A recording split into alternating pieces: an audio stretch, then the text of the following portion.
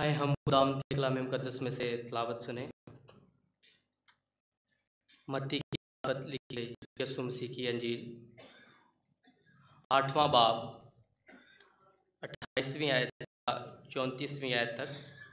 کلام مقدس میں یوں لکھا ہے، جب وہ اس پار گدرینیوں کے ملک میں پہنچا، تو دو آدمی جن میں بدروہیں تھیں، قبروں سے نکل کر اس سے ملے۔ وہ ایسے تند مزاج تھے کہ کوئی اس راستہ سے گزر نہیں سکتا تھا۔ انہوں نے چلا کر کہا، اے خدا کے بیٹے، ہمیں تجھ سے کیا کام؟ کیا تو اس لیے یہاں آیا ہے کہ وقت سے پہلے ہمیں عذاب میں ڈالے؟ ان سے کچھ دور سوروں کا گول چل رہا تھا۔ پس بدروہوں نے اس کی منت کر کے کہا کہ اگر تو ہم کو نکالتا ہے تو ہمیں سوروں کے گول میں بھیج دے۔ اس نے ان سے کہا، جاؤ۔ وہ نکل کر سوروں کے اندر چلی گئیں اور دیکھو، سارا گول کڑاڑے پر سے جھپٹ کر جھیل میں جا پڑا اور پانی میں ڈوب مرا اور چرانے والے بھاگے اور شہر میں جا کر سب ماجرا اور ان کا احوال جن میں بدروہیں تھیں بیان کیا اور دیکھو سارا شہر یسو سے ملنے کو نکلا اور اسے دیکھ کر منت کی کہ ہماری سرحدوں سے باہر چلا جا، کلام پڑھا جانا اور سنا جانا ہم سبوں کے لیے باعث برکت ہو۔ آمین۔ میری طرف سے آپ سبوں کو سلام قبول ہو۔ خدم کا شکر کرتے ہیں آج کے اس خوبصورت وقت کے لیے۔ پھر اس خاص برکت کے لیے کہ خدمد ہمیں بارہا مواقع عنایت کرتا ہے کہ ہم اس کے بدن کے طور پر، اس کی کلیسیا کے طور پر جمع ہوں اور اس کے کلام کی باتیں سنیں، اس کی خوشخبری سن سکیں، اسے قبول کر سکیں اور اس بات کے لیے تیار ہو سکیں کہ ہم نے بھی اس خوشخبری کی منادی میں حصہ لینا ہے۔ آج خدمت کا شکر کرتے ہیں۔ یسو مسیح کی زمینی زندگی کا ایک خوبصورت واقعہ ہمارے سامنے آج پڑھا گیا ہے۔ ایک کہانی کی صورت میں کہ یسو دو بدرو گرفتہ آدمیوں کو شفا دیتا ہے اور اٹھائیسویں آیت آٹھواں باب اور اس کی اٹھائیسویں آیت میں جب وہ اس پار گدرینیوں کے ملک میں پہنچا تو دو آدمی جن میں بدروہیں تھیں، قبروں سے نکل کر اس سے ملے۔ یسو مسیح منادی کرتے ہوئے جب گدرینیوں کے علاقے میں، یہ گدرا کا ایک علاقہ ہے اور اس میں رہنے والے والوں کو گدرینیوں کہیں گے۔ اور یہ علاقہ دریائے یردن کے مشرق میں یا گلیل کی جھیل کا ذکر ہمیں جھیل مقدس میں ملتا ہے۔ اس کے جنوب میں یہ واقع ہے۔ گدرا کا جو علاقہ ہے، اور یہ جو علاقہ ہے، یہ ان قبروں کو، ان قبروں کے قریب ہے۔ ان قبروں سے متعلقہ یہ علاقہ یا شہر ہے، جن میں خدا نے بدرو گرفتہ لوگوں کو مخلصی دی۔ اور اس شہر کی جو آبادی ہے، اس شہر کی جو طرز تعمیر ہے، رہن سہن کا جو انداز ہے، یونانی تھا۔ اب اس بات سے بلا کیا ثابت ہوتا ہے کہ یسو مسیح جس علاقے میں گئے ہیں، گدرینیوں کا یہ علاقہ ہے۔ اور مقدس مرکز کا انجیلی بیان اور مقدس لوکا کا انجیلی بیان جب ہم پڑھتے ہیں نا تو اس گدرینیوں کی علاقے کو وہاں پہ گراسینیوں کا ملک کہا گیا ہے۔ اب یونانی طرز تعمیر، آبادی بھی یونانی، رہن سہن کا طریقہ بھی یونانی۔ وہاں پہ رہنے والے لوگ جو ہیں، غیر قوم سے تھے یعنی وہ یہودی نہیں تھے۔ اور پھر اس ملک میں یسو پہنچا ہے اور دو آدمی جن میں بدروہیں تھیں۔ قبروں سے نکل کر اس سے ملے۔ اب قبروں سے نکل کر وہ مرے ہوئے نہیں تھے جو قبروں سے نکل کے ملے ہیں۔ وہ ان قبروں میں رہتے تھے۔ ان میں بدروہیں تھیں۔ اور ان کے بارے میں لکھا وہ تند مزاج تھے، سخت مزاج تھے غسیلے تھے اور تیز رو تھے۔ ان قبروں میں رہتے تھے اور وہاں پہ گدرا کے علاقے کے لوگ اور گرد و نواح کے لوگ جو ہیں، اس راہ سے گزرنا مناسب نہیں سمجھتے تھے، چونکہ یہ اگر کسی آدمی کو دیکھتے تھے تو پتھر مارتے تھے، ان کے ساتھ بڑا غصے والا ریا کرتے تھے۔ اب چند لمحوں کے لیے اگر سوچیں گے، تند مزاج کا لفظ استعمال ہوا ہے۔ ان میں بدروہیں تھیں جن کی وجہ سے وہ تند مزاج تھے۔ لیکن جس معاشرے میں ہم رہتے ہیں، اس دور میں بھی سخت مزاج لوگ اور نرم مزاج لوگ، دھیما لہجہ اور تیز لہجہ، یہ ہر قسم کے مزاج جب اکٹھے ہوتے ہیں تو معاشرہ بنتا ہے۔ اور تند مزاج سے مراد وہ جو تند مزاج ہے یا جو سخت مزاج والا بندہ ہے جو غصے والا ہے، لازم نہیں ہے کہ ہر ایک میں بدرو ہو۔ ان کی وجہ بیان کی گئی ہے۔ ان میں بدروہیں تھیں اور یہ تند مزاج تھے۔ اب اب جانیے گا، ہم سب ایک ایسے معاشرے میں رہتے ہیں جہاں پہ ہر مزاج کا شخص ہمیں ملتا ہے۔ ایسے معاشرے میں، ایسی دنیا میں، ایسے لوگوں میں رہتے ہوئے مسیحی تعلیم جو یسو نے ہمیں دی ہے، اپنے شاگردوں کے وسیلہ، بڑی خوبصورت ہے۔ ویسا ہی مزاج رکھو جیسا کہ مسیح یسو کا بھی تھا۔ ویسا ہی مزاج رکھو۔ اب ہم بے شک تند مزاج لوگوں میں رہتے ہیں، ہم بے شک غسیلے لوگوں میں رہتے ہیں۔ اس معاشرے میں ہر طرح کے لوگ ہیں۔ لیکن ہمیں یہ سکھایا گیا ہے کہ تم نے اپنا مزاج کیسا رکھنا ہے؟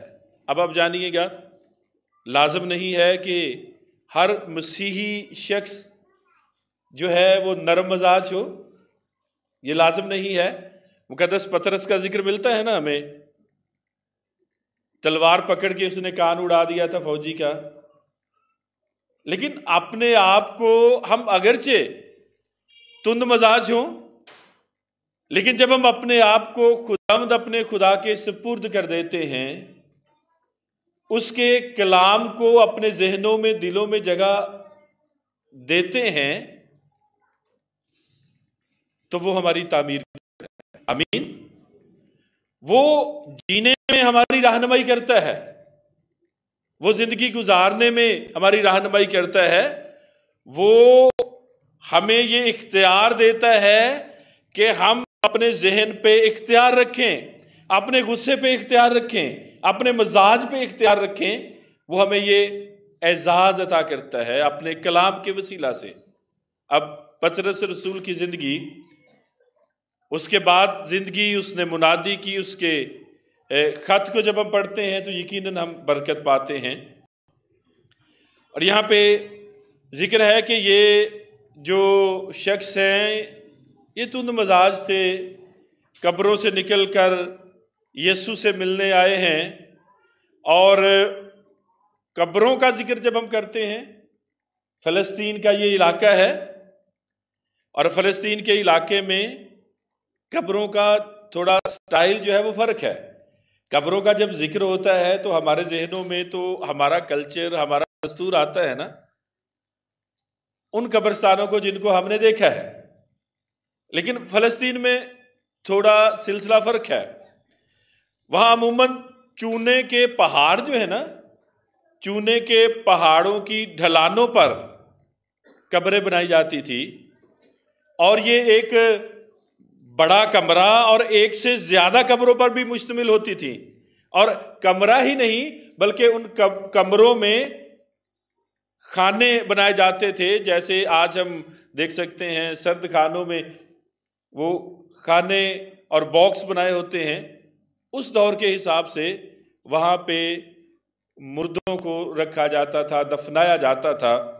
تو وہ قبروں سے نکل کے آئے ہیں اور تند مزاج ہیں اور کوئی اس راستے میں سے گزرتا بھی نہیں ہے۔ لیکن یسو جو ہے وہاں پہ گیا، وہ جو زندگی کا خالق اور مالک ہے۔ وہ جو بدروحوں پر بھی اختیار رکھتا ہے، انہیں وقت پر جلانے پر بھی اختیار ہے اس کے پاس، اور وقت سے پہلے بھی اگر وہ چاہے تو وہ انہیں آگ میں جھونک سکتا ہے۔ اور انہوں نے یسو کو دیکھا اور چلا کر کہا، اے خدا کے بیٹے، ہمیں تجھ سے کیا کام؟ کیا تو اس لیے آیا ہے کہ وقت سے پہلے ہمیں عذاب میں ڈالے؟ اب بدروہوں کی آواز، ان کے جملے، ان کے تاثرات ہمارے سامنے ہیں۔ یسو کو دیکھ کے چلا اٹھی ہیں۔ سب سے پہلے اقرار ہے ان کی زبان سے۔ ابلیسی اور ناپاک چیزوں کے منہ سے اقرار ہے کہ اے خدا کے یہ یقین رکھتی ہیں، یہ جو بشری اعتبار سے ہمارے پاس آیا ہے، یہ خدا کا بیٹا ہے۔ اور پھر آگے کیا ہے؟ یہ یقین رکھتی ہیں کہ کیا تو اس لیے آیا ہے کہ ہمیں وقت سے پہلے عذاب میں ڈالے؟ ایک تو اس یقین کا اظہار ہے کہ ہمیں یہ پتا ہے کہ تو خدا کا بیٹا ہے۔ اور دوسرا یقین کیا ہے؟ کہ اگر تو چاہے قدرت کا ہمیں پتا ہے۔ اگر تو چاہے تو وقت سے پہلے بھی ہمیں ڈال سکتا ہے۔ کیا تو وقت سے پہلے ہمیں عذاب میں ڈالنا چاہتا ہے؟ تو ان سے دور بہت سے سور، سوروں کا گول چل رہا تھا۔ پس بدروہوں نے اس کی منت کر کے کہا کہ اگر تو ہم کو نکالتا ہے تو ہمیں سوروں کے گول میں بھیج دے۔ منت کی ہے۔ اور یسو مسیح کا مقصد وہاں پہ جانے کا بھلا کیا تھا؟ یسو مسیح کا وہاں جانے کا مقصد کیا تھا؟ آج میں اور آپ اکثر جس معاشرے میں رہتے ہیں، اکثر ہم ایسی دعا سنتے ہیں، کہ خداون جو فلاں شخص میں بدروہے ہیں، انہیں جلا کر بھسم کر دے، انہیں تباہ و برباد کر دے وہ جل کر بھسم ہو جائیں۔ لیکن یہاں پہ یسو کے جانے کا مقصد دیکھیے گا، کیا تھا؟ یسو مسیح ان دو لوگوں کو آزاد کرنے گئے تھے۔ کیا یہ مقصد تھا؟ یا بدروہوں کو عذاب میں ڈالنے کے لیے وہ گئے تھے؟ یسو مسیح کا اس دنیا میں آنے کا مقصد کیا تھا؟ پہلے نمبر پہ یہ یاد رکھیے گا، اس دنیا میں آنے کا مقصد کیا تھا؟ یسو نے بارہ دفعہ کہا کہ میں اس لیے آیا ہوں، میں کہ گنہ گاروں کو نجات دوں۔ بیمار لوگ جو ہے نا، انہیں طبیب کی ضرورت ہوتی ہے۔ یسو نے کہا کہ تندرستوں کو طبیب کی ضرورت۔ میں بے گناہ لوگوں کے لیے نہیں آیا، میں گنہ گار لوگوں کے لیے آیا ہوں تاکہ ان کے گناہوں کو دور کروں، ان کے گناہوں سے انہیں مخلصی دوں۔ اب یسو مسیح کے آنے کا مقصد کیا ہے؟ کہ وہ ان دو لوگوں کو ابلیس کے سے آزاد کرے۔ اب اس منصوبے کے تحت یسو ان کے پاس نہیں گیا کہ ان بدروہوں کو جلا دے۔ اب اس سے اگلی بات دیکھیے گا سوروں کا گول یہ ذکر ہے۔ اور مسوی شریعت کا جب ہم ذکر کرتے ہیں، یہودی دستور جو ہم دیکھتے ہیں سور کو عہد عتیق میں ناپاک جانور کہا گیا ہے اور اس کا یہودی دستور میں اس کا گوشت بھی نہیں کھایا جاتا تھا۔ احبار کی کتاب گیارہواں باب ہم پڑھ سکتے ہیں۔ استثنا کی کتاب چودواں باب ہم پڑھ سکتے ہیں۔ اور یہاں پہ گدرا کے علاقے میں سوروں کے غول کی موجودگی اس بات کو ثابت کرتی ہے کہ یہ علاقہ جو ہے، یہ یہودیوں کا نہیں ہے، اس میں یونانی لوگ ہیں اور یہودی اس میں نہیں بستے۔ اور پھر اسی تسلسل میں ہم جب آگے بڑھتے ہیں، تو اس بات کا بھی ہمیں اندازہ ہوتا ہے کہ وہاں کے لوگ جو ہیں، جو غیر قوم ہیں، جب انہیں پتہ چلا کہ یہ واقعہ ہوا ہے، وہ لوگ جو قبرستان میں رہتے تھے، جو لوگوں کو تنگ کرتے تھے، جن میں بدروہیں تھیں، وہ ٹھیک ہوئے۔ تو ذکر ہے، اس نے ان سے کہا، بدروہوں سے کہا اور وہ نکل کر سوروں کے اندر چلے گئیں۔ اور دیکھو، سارا گول کڑکڑاڑے پر سے جھپٹ کر جھیل میں جا پڑا۔ اور پانی میں ڈوب مرا اور چرانے والے بھاگے اور شہر میں جا کر سب ماجرا اور ان کے ان کا احوال جن میں بدروہیں تھیں بیان کیا۔ اور جب شہر کے لوگوں کو سارا واقعہ پتہ چلا اور وہ سارا شہر یسو سے ملنے کو نکلا۔ وہ سارا شہر یسو سے ملنے کو۔ اب آپ جانیے کہ جب وہ لوگ اس راہ سے گزرنا ان کے لیے مشکل تھا، پریشانی تھی، اب ان کا راستہ جو ہے وہ صاف ہو گیا۔ اور سارا ماجرا ان ان لوگوں کو پتہ چل چکا ہے۔ تو لکھا ہے وہ یسو سے ملنے آئے۔ یسو سے ملنے کا مقصد کیا ہے؟ کیا مقصد ہو سکتا ہے؟ کیا وہ یسو کا شکریہ کرنا چاہتے ہیں؟ یہودی نہیں ہیں، وہ یونانی ہیں۔ اور لازم ہے، یہ لازم نہیں ہے کہ یسو صرف یہودیوں میں جائے اور یہودیوں کو خوشخبری سنائے۔ کیا ان یونانیوں پر خوشخبری واجب ہے یا نہیں واجب؟ واجب ہے۔ اور یسو کلام کا بیج خوشخبری کی منادی کا بیج یسو نے ان میں بو دیا ہے اور وہ سارا شہر یسو کے پاس آیا ہے اور ان کا رویہ کچھ غیر مناسب ہمیں لگتا ہے۔ ہمیں ایسے لگتا ہے کہ جب کسی کی مشکل دور ہو، کسی کی پریشانی دور ہو، تو وہ دور کرنے والے کا شکریہ کرے گا۔ لیکن اب غور کیجیے گا، وہاں پہ ایک تو سوروں کے گول کا ہونا، یونانی لوگوں کا ہونا اس بات کی علامت ہے کہ وہ لوگ جو ہیں، وہ اپنے کاروبار میں دلچسپی زیادہ رکھتے ہیں۔ اپنی طرز جو جینے کی ہے، اس پر ان کا فوکس زیادہ ہے۔ اپنی مرضی سے رہن سہن جو ہے، وہ جنہوں نے بنایا ہوا ہے، اسے زیادہ مناسب سمجھتے ہیں۔ اور وہ یسو کے پاس آئے ہیں ملنے کے لیے، اور اس سے اسے دیکھ کر اس کی منت کی ہے۔ اور منت کر کے کیا کہنے لگے ہیں؟ کہ ہماری سرحدوں سے، ہماری سرحدوں سے باہر چلا جا۔ اب آپ دیکھیے گا، یہاں پہ یسو مسیح کے آنے کا مقصد، اور کن لوگوں کے پاس یسو گیا ہے؟ ان لوگوں کی کیا حالت ہے جو ابلیس کے قبضے میں ہیں؟ اور ابلیس نے انہیں تند مزاج کر رکھا ہے، انہیں گسیلا کر رکھا ہے، اور وہ دوسروں کے لیے نقصان کا سبب ہیں۔ اب یسو جو خالق اور مالک ہے، جو نہ صرف ذہنوں پر بلکہ دلوں پر بھی اختیار رکھنے والا ہے، یسو ان کے پاس گیا ہے اور انہیں اپنے مبشر کے طور پر استعمال کرنا چاہتا ہے۔ آمین۔ اب کیسے کیسے یہ ممکن ہوگا؟ پہلے تو یہ ممکن ہو نہ کہ ان کی نکلیں اور وہ نکلی۔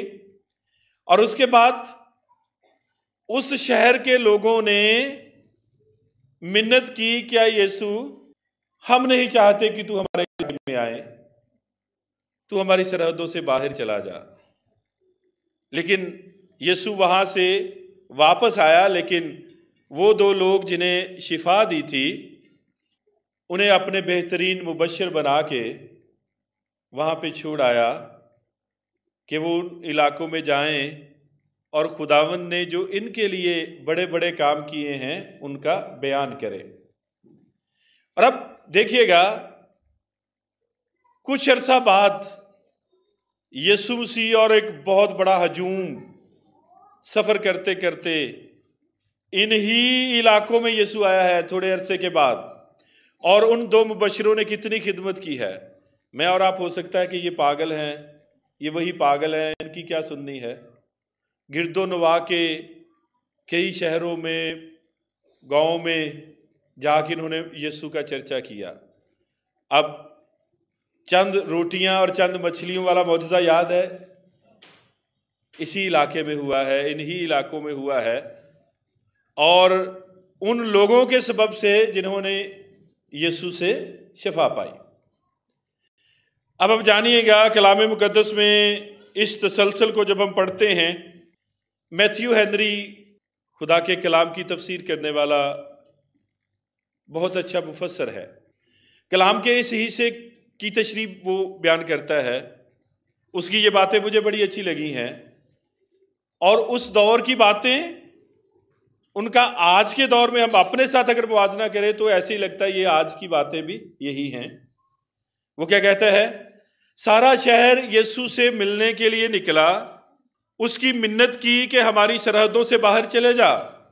اب شیطان کے قبضے میں رہنے والوں کی یہ خواہش ہوتی ہے۔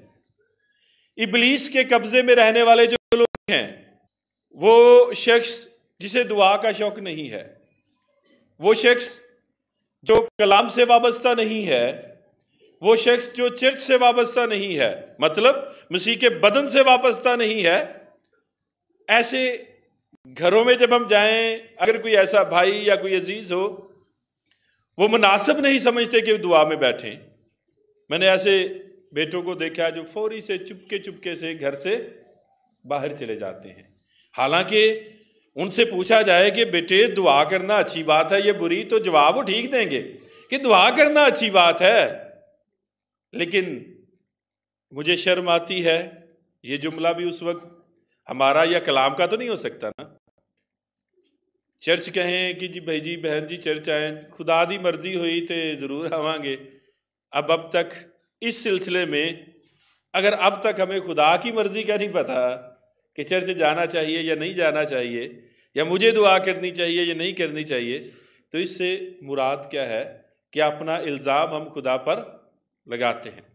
سارے شہر نے یسو کے پاس آ کے کہا کہ ہم تیری منت کرتے ہیں، تو ہماری سرحدوں سے باہر چلا جا۔ یہ ابلیس کے قبضے میں رہنے والوں کی کاہش کا اظہار ہے کہ مالک ہم نہیں چاہتے کہ تو ہمارے پاس آ۔ ہمارا ایک طرز زندگی ہے، ہم اسے بدلنا نہیں چاہتے۔ اور پھر ذکر ہے، وہ لوگ چاہتے ہیں کہ ہمارے ذہنوں سے، دلوں سے، اے یسو تو ہمارے ذہنوں میں نہ آ، ہمارے دلوں میں نہ آ۔ ہم اپنی جسمانی خواہشوں میں جینا چاہتے ہیں، ہم اپنے جسمانی خیالوں میں جینا چاہتے ہیں۔ اب آپ جانیے گا، یہ رومیوں کا خط پہلا باپ اور اس کی چوبیسویں آیت میں بھی ہے۔ یہ اس زمین پر خدا کی عدالت کا ایک نفسیاتی تصور ہے۔ ایک خوبصورت تصویر کہہ لیں اسے۔ اور پھر یہ خدا کی عدالت کا نتیجہ ہے کہ خدا لوگوں کو ان کی خواہشوں، ان کی شہوتوں، ناپسندیدہ عقل میں چھوڑ دیتا ہے۔ غور سے سنیے گا۔ خدا جب ہمارے رویوں کو دیکھتا ہے۔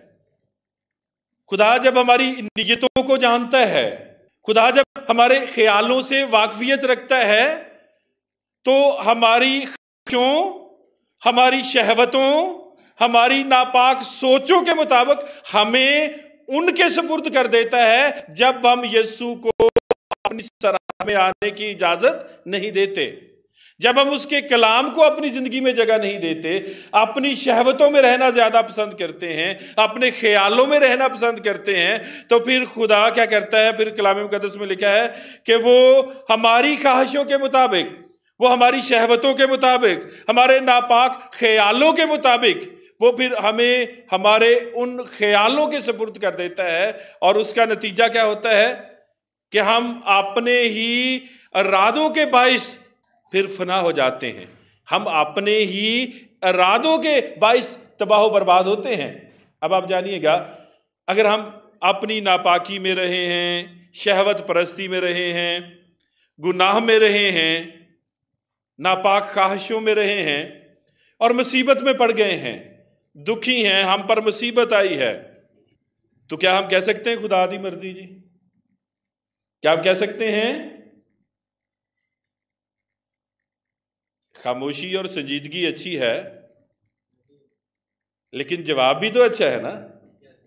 تو خاموش رہنے کا کہیں یہ مطلب نہ ہو کہ بھئی ساڈے لو جواب ہی جے اب جانیے گا خدا ہماری شہوتوں کو جانتا ہے یا نہیں جانتا؟ ہماری خواہشوں کو بھی جانتا ہے اور وہ ہمارے گناہوں سے بھی واقفیت رکھتا ہے۔ اور اگر ہم اپنی طرز زندگی اپنے ایک ہوتا ہے، اپنے ذہن سے، اپنی طرز سے جینا اور زندگی بسر کرنی۔ ایک وہ آئین جو ہم نے اپنی طرف سے، اپنی عقل اور سمجھ سے طے کر رکھے ہیں کہ ہم نے ایسے جینا ہے۔ جہاں سے ہمیں فائدہ ہے، ہم وہیں جائیں گے، ویسے ہی بسر کریں گے۔ زندگی وہیں جائیں گے جہاں فائدہ ہے۔ اگر ایسی طرز بنائیں گے اور مصیبت میں گریں گے تو کیا ہم کہہ سکتے ہیں کہ یہ مصیبت مجھ پہ آئی ہے، میں بڑی پریشانی میں ہے خدا دی مرضی ہوئی ہے جب ہم ٹھیک ہونا نہیں چاہتے، جب ہم خدا کے کلام کو اپنی خاندان کی سرحد کے اندر آنے نہیں دیتے، اپنی شہوتوں میں رہنا چاہتے ہیں، تو پھر وہ ہماری خواہشوں کے مطابق، ہماری شہوتوں کے مطابق ہمیں ان کے سپرد کر دیتا ہے۔ جب ہم ٹھیک ہونا نہیں چاہتے، تو اس سے کیا مراد ہے؟ کہ ہم اپنے ارادوں کے باعث، اپنے ارادوں کا مطلب بھلا کیا ہوتا ہے؟ اپنے ارادوں کے باعث فنا ہو جاتے ہیں، اپنے ارادوں کے باعث بیماری میں، دکھ میں، تکلیف میں پڑتے ہیں۔ اور جب ہم اپنے ارادوں کی وجہ سے، اپنی سوچ کی وجہ سے مصیبت میں پڑتے ہیں، تو وہ کس کی مرضی ہوتی ہے؟ کس کی مرضی ہوتی ہے؟ میں پوچھوں گا ضرور، لیکن میں ایک بار پھر یہ بار بار ہم بار بار دہرا لیں، اس میں کوئی عذر نہیں ہے۔ کچھ نہ کچھ بات ہم سیکھ کر جائیں، یہ زیادہ موضوع ہے۔ دو باتوں کا بیان ہے۔ ایک ہے ناگہانی، مصیبتوں کا آ جانا، دکھوں کا آ جانا، پریشانیوں کا آ جانا۔ اس میں ہم خدا مد اپنے خدا کے حضور جھکتے ہیں اور خدا ہمیں مخلصی دیتا ہے، آزادی دیتا ہے۔ دوسرے نمبر پہ اپنے آج کے اس کلام کو ذہن میں رکھیے گا۔ یسو نے اس علاقے میں رہنے والے لوگوں کا تو بھلا کیا ہے نا؟ اور دو لوگوں کو آزادی دی ہے۔ وہ جو دوسروں کے لیے نقصان کا باعث تھے، انہیں آزادی دی ہے۔ اور جب انہیں آزادی دی ہے تو شہر کے لوگوں نے آ کے یسو سے کہا ہے کہ تو ہماری سرحدوں سے باہر چلے جا۔ یہ سوروں والا علاقہ ہے، یہ یونانیوں کا علاقہ ہے۔ ہم تاریخی میں رہنا پسند کرتے ہیں۔ ہم اپنی ہی خواہشوں میں جینا چاہتے ہیں۔ ہم اپنی طرز سے زندگی بسر کرنا چاہتے ہیں۔ ہم نہیں چاہتے کہ تو ہماری زندگی میں آ۔ ہم نہیں چاہتے کہ تو ہمارے ذہن میں آ۔ ہم نہیں چاہتے کہ ہمیں تیری مرضی سے جینا پڑے۔ تو اس سوچ کے مطابق جب ہم مصیبت میں پڑھتے ہیں، اپنے ارادے سے اپنی مصیبت میں پڑھتے ہیں، تو اس میں کس کی مرضی ہے؟ اس میں کس کی مرضی ہے؟ تو اس میں ہماری مرضی ہے نا۔ تو یہ نہیں کہیں گے کہ خدا کی مرضی یا کسی کی مرضی، کیا کہیں گے؟ ہم اپنی مرضی سے، اپنے ارادے سے، اپنے ارادے سے پریشانیوں میں، دکھوں میں پڑھتے ہیں۔ اور یہاں پہ بڑے خوبصورت انداز سے بیان کیا گیا ہے کہ یسو نے بہترین دو گواہ جو ہیں اپنے وہاں پہ چھوڑے ہیں۔ اور آئندہ کچھ عرصے کے بعد اس تسلسل میں ہم دیکھتے ہیں کہ وہاں پہ بہت سے لوگوں نے، لوگوں کے بہت بڑے ہجوم نے یسو مسیح کو اپنا شخصی نجات دہندہ قبول کیا ہے۔ خوشخبری کی منادی یا بشارت کا یہ کام، یہ نہ صرف ان دو تند مزاج لوگوں کا کام تھا، بلکہ ہم سب اس میں حصے دار ہیں۔ اگر ہم مسیح کی کلیسیا ہیں، اس کے بدن کا حصہ ہیں تو ضرور ہم نے اس خدمت کے کام میں پیش پیش رہنا ہے۔